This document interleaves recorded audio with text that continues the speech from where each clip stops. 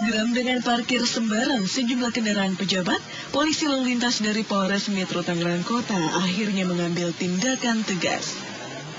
Akibatnya sejumlah kendaraan milik pejabat di lingkungan pemerintahan Kabupaten Tangerang yang parkir sembarang di Jalan Kisamaun Pasar Lama digembosi polisi. Sebelumnya pihak Polantas telah meminta pemilik kendaraan untuk memindahkan, namun tak mendapat tanggapan.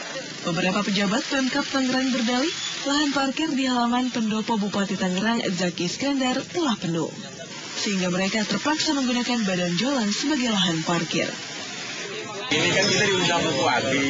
Seharusnya polisi itu koordinasi dengan Bupati lah. Jangan sampai kita pejabat semua, ini kan pejabat semua yang dikasih. Masalahnya kan kasihan dah. Kalau bisa dialihkan, dialihkan lah. Karena mungkin dia waktu juga ada pelantikan.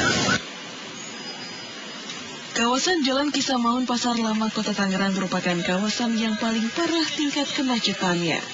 Selain volume kendaraan, sejumlah kendaraan kerap parkir sembarangan.